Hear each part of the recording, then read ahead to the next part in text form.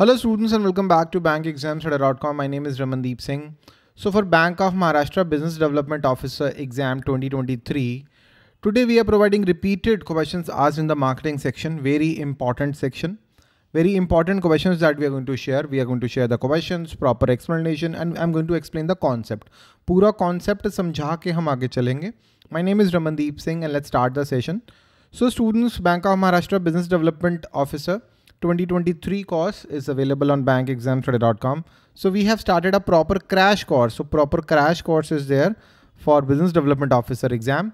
Proper video classes, notes, quizzes and the test series are available in this course.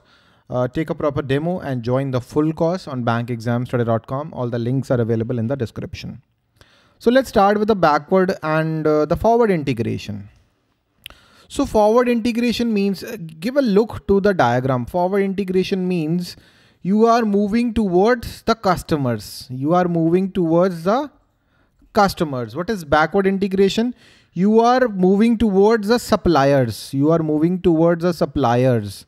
That is what? That is backward integration. Let's assume you are a coaching institute. You are a coaching institute. Okay uh, the name of your institute is ABC, you are having 200 institutes. So you need to provide study material to your students. So you bought a printing press. So you are doing backward integration. Okay, that is backward integration. A coaching institute buying a printing press to print their own study material, that is backward integration.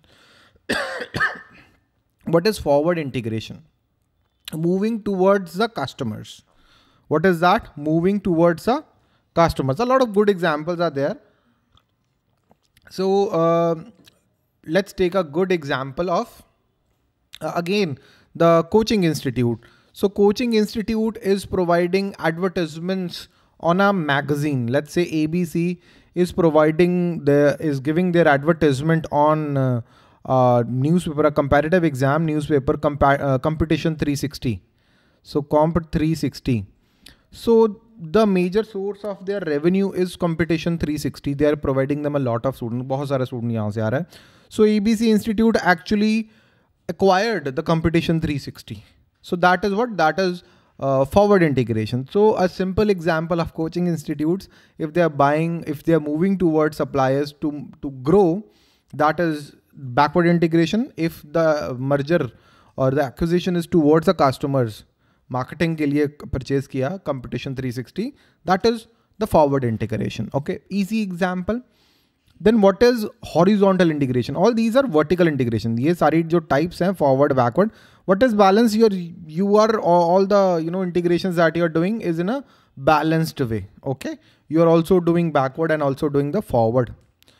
So that is all these are the forms of vertical integration. These are forms of vertical vertical integration. Then what is horizontal integration? So you are uh, let's say uh, you are an oil company right? And you are buying another oil company to increase your market share. That is horizontal integration. That is horizontal integration. They are in the same process. They are doing the same job. Let's say the bpcl the bpcl let's say if they are buying hp to increase their market share that is which kind of uh, integration? That is horizontal integration okay? So let me just hide myself. Now just check uh, the basis of the comparison. So i already told you when the two firms are selling the same product they are at the same stage of production right? That is horizontal and if they are at different stages of production uh, then they are at vertical integration. The objective of horizontal integration is to increase the market size and of the vertical integration, the goal is to strengthen the supply chain, reduce the cost. Okay. The capital requirement may be lower, right? The strategy is to control the whole industry. In the horizontal integration, the strategy is to capture more market share. So this is the basic difference between horizontal and vertical integration. Give a look to the questions, four five questions that I have prepared on this particular topic. So which type of merger we are talking about involving a firm in the same business at same stage of production? We are talking about horizontal integration. So if HPCL uh, HPCL is uh, buying out uh, Indian Oil, right? They are both of these companies are having petrol pumps, right? They are petrol marketing companies so that would be horizontal integration okay? that would be horizontal integration. So involving a firm in a totally unrelated business there is no relation. That would be conglomerate integration. So let's say if reliance industries is actually in reliance industry reliance industry they bought Embibe this is an edtech company Okay. so that is an conglomerate integration. कोई business के साथ कोई लेना देना नहीं but still Jio bought Embibe Towards the customers, towards customers, if an integration has been done towards customers, so that would be forward vertical integration. I already told you in the previous slides that it, that is forward vertical integration. Towards raw material supplier, that is backward vertical integration. Okay. So Ansoff matrix, this is an important concept students. So if you want to, um, you know, increase your market share, if you want to increase your sales, right? So you are either you will go to the, if you are, you know, trying to increase your uh, sales by selling your products in the existing market and you are taking the same product आप same product को same market में sell करने की कोशिश कर रहे हो अपनी सेल बढ़ाने की कोशिश कर रहे हो that is market penetration strategy and if you are bringing new product in the existing market, that would be product development strategy. New product in the existing market, market that would be a product development strategy. For example, the Maggi. Maggi is there. Nestle has Maggi.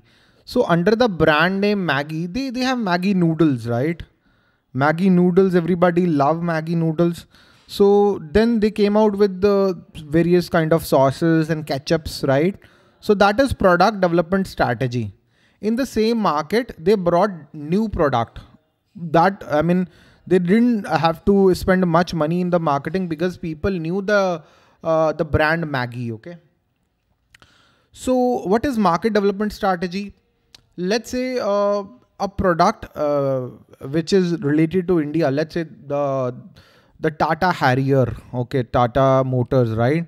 They want to expand their, uh, you know, uh, market to China. They want to sell their products in China, or let's say the Tata's, uh, you know, these cost efficient cars, they want to sell in the countries like uh, Colombia. So that right now they are not selling there. So that would be a market development strategy because they are selling their existing products let's say that Tata wants to sell their product Nexon, Tata Nexon in the Colombia, in Brazil, that would be a market development strategy, taking their existing products in the new markets. so taking new products in the totally new market would be a diversification strategy. A uh, lot of Indian two-wheeler manufacturers such as uh, Bajaj and Hero Honda, uh, Hero Motors, they are they have adopted the strategy and they are selling a lot of new kind of bikes in the uh, in the African country. So that is diversification strategy. Okay. Selling new products in the totally new markets, that is diversification. Okay. So please remember the name of the strategies that would help you to answer the questions. Give it a look, uh, pause the video and give it a look. So let's move forward. Which of the following strategy generally entails large research and development expenditure? So what is the basic, you know, why do you need to spend money on development of, uh, you know, uh, why do you need to spend money on market development or the product development, right? Because see, developing a new product, costs are there, obviously. If, if the Tata wants to develop a new car, uh, a new engine costs are there even to develop a market, to enter a new market, marketing expenses are there.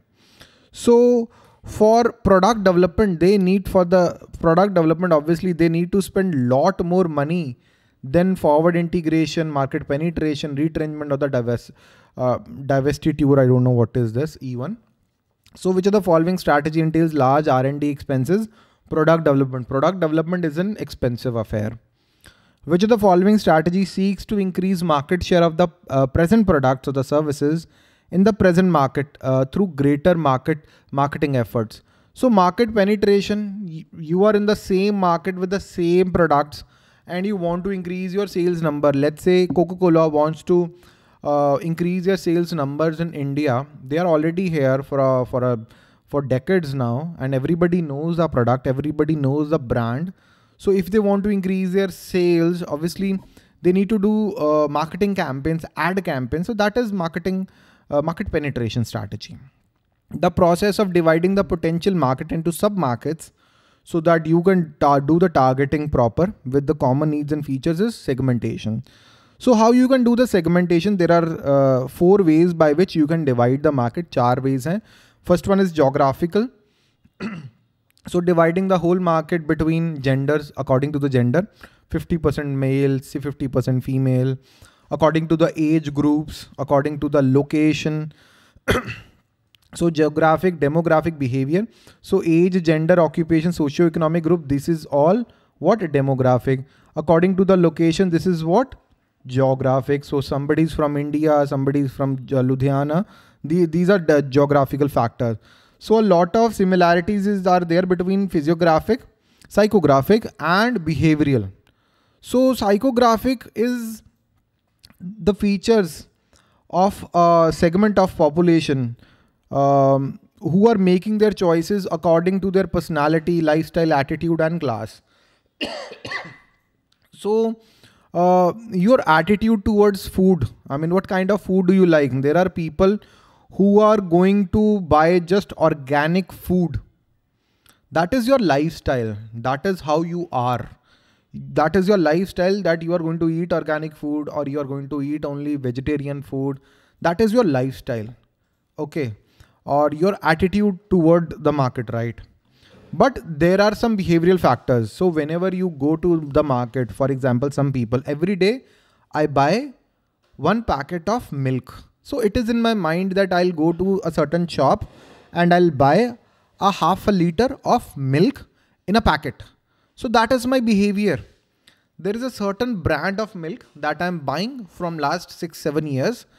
So that is my behavior and I know what kind of uh, benefit that that I sought. I'm going to use that milk to make tea. Okay, so that is my behavior. Okay, so rate of usage every day I'm doing it. Every day I'm buying milk. Every day, I mean, if some, I'm doing some things every day, that is my behavior. So according to the behavior, loyalty status, I have a loyalty towards certain brand readiness to purchase. So if i'm buying milk every day so i'm ready to buy certain amount of milk every day. So behavioral factors also affect the purchase decisions and that's how you can divide the market. So how you can divide the market according to behavior? So milk dividing the whole market according to the milk consumption.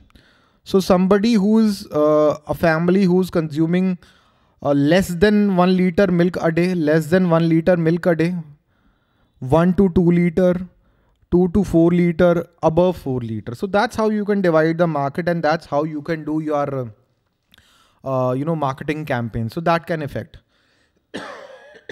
Sorry. Buzz marketing. What is buzz marketing? So making use of uh, influencers or opinion leaders uh, you can use this buzz marketing to spread the information about the products. So influencers or opinion leaders, you can use them to do buzz marketing. So creating a buzz in the market regarding a, about a product. Which of the following is not the stage of product life cycle? Market segmentation is not. So what is product life cycle? I, I will give you a good example of product life cycle. Uh, let's take an example of, uh, let's say AirPods. Very, very good example. So AirPods, when they were introduced in, I guess, 2015, 20, 2016, I guess they were introduced, I guess. So at that point of time, they were very expensive. I mean, everybody thought they were very expensive. 10,000 rupee for a pair of headphones, which were generally available for free, available with the phones. Now people need to pay for that. So in 2016, they were introduced not many customers were there but they they got pace very quickly so that was a growth phase i would say 2018 se leke even till now they are they are at the growth stage. AirPods are right now at the growth stage. A lot of people are buying them. They are their demand is growing day by day. So maturity, it has not reached the maturity or the decline phase. Right now, AirPods are at growth stage. How, what would you say the iPhones? iPhones right now, they are at the maturity or the stabilization stage.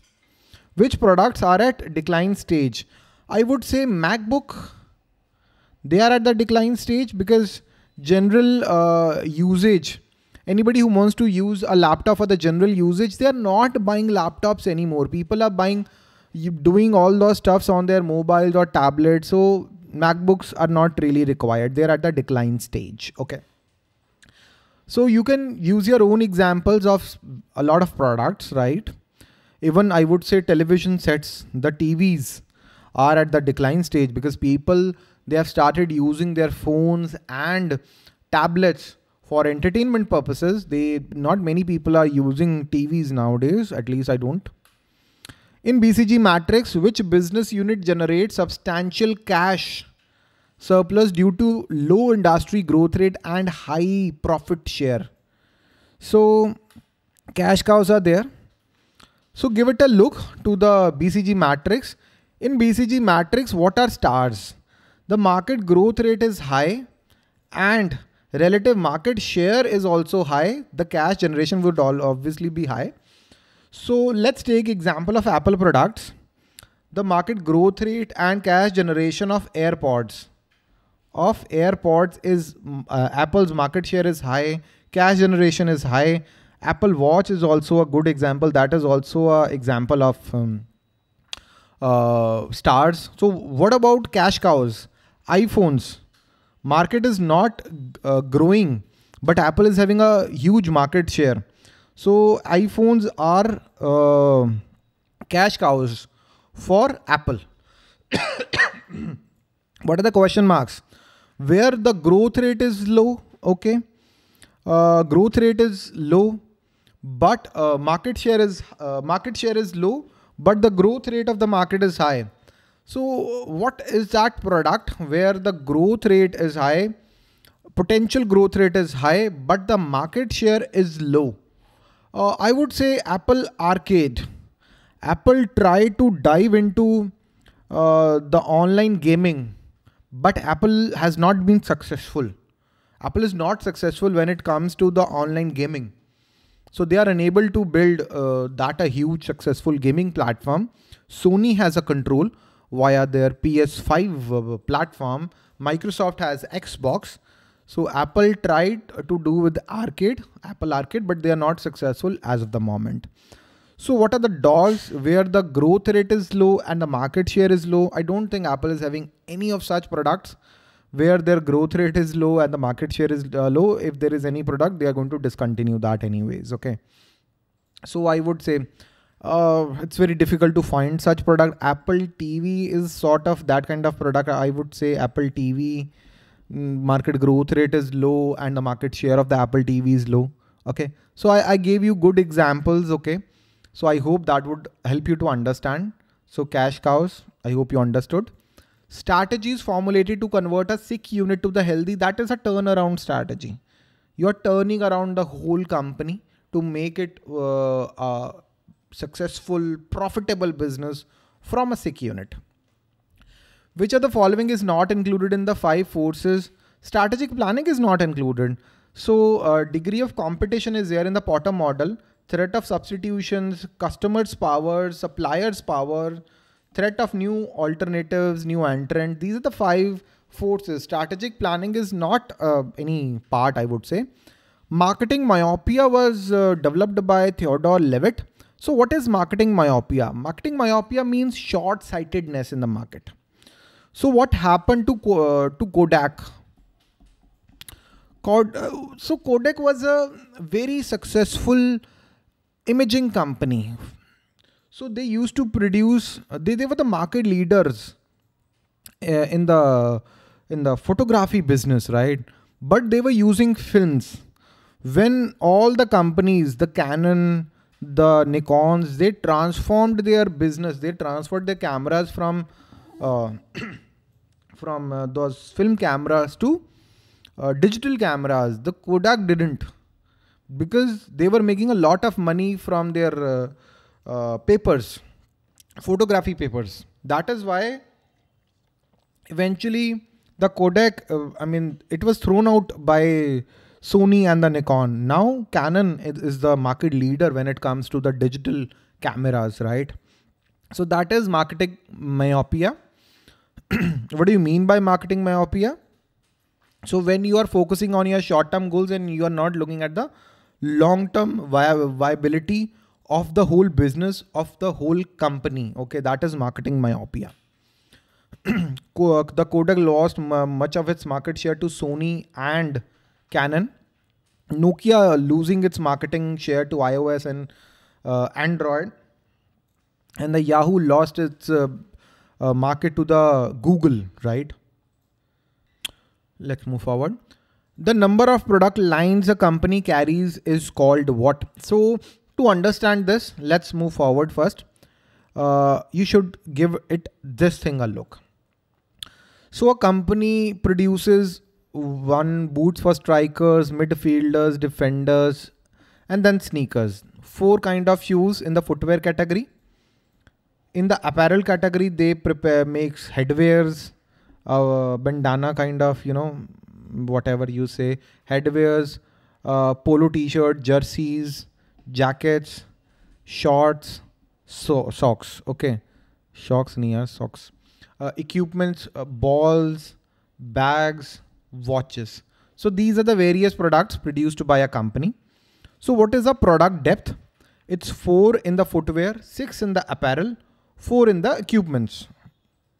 Not four, it's three in the equipments. Okay. And the product uh, length, it is 13. Product length, it is total 13. So 4 plus 6 plus 3, 13. Product width, so one footwear, two apparel and three equipments. Okay. So that is what product depth, length and the width. Now let's move forward here. Now you can easily understand what is the product length. Okay. So product line, the let's say the company HUL, they are into personal care business and food and drinks business. So that is what, that is what that is their width uh, that is their width product mix width okay these two are, are the product lines personal care uh, product line is there and the food and drinks uh, product line is there and the depth for the soap there is lux dove lifebuoy for the shampoos there is clear dove and the Life lifebuoy so very uh, these are the product this is the product depth you i hope you got the product lines so what is the product line length so in the product line personal care, there are shampoos, there are soaps, there are creams, there are toothpaste. So four is a is a is a, is a product line length. Okay. So this one would help you even more. Okay. This one would help you even more to understand the depth, the product uh, length and the product width. So to the product mix length is basically the sum of all the products here, all, all the brands here. Okay. So this one particularly, this particular slide would help you to understand even more. Easy way में समझ आ जाता है यहाँ पे. This one can confuse you, but this one is very clear. So three kind of uh, products are there. All these are what? uh, product lines are there. Okay. Product width three. Product length, sum of all the products. Okay. Uh, 13 kind products are there. Product depth, four in footwear, six in apparel and three in equipments. Okay. So uh, that's all I guess, right? The number of product lines a company carries is called product mix width. The number of product lines a company carries is product mix width. So give it a look. So here two kind of uh, uh, the product lines they are carrying, the company is carrying, the personal care and the food drinks, that is a product mix width. Okay. So here uh, personal care is a product line, food and drinks is a product line. So two is the product mix width. So students, uh, that's I guess all for today. I hope you understood the today's class. If there is any doubt in your mind, please ask your doubts and we are going to answer your doubt. That was a pretty lengthy lecture. Uh, Bank of Maharashtra Business Development Officer course 2023 is available on bankexamstoday.com.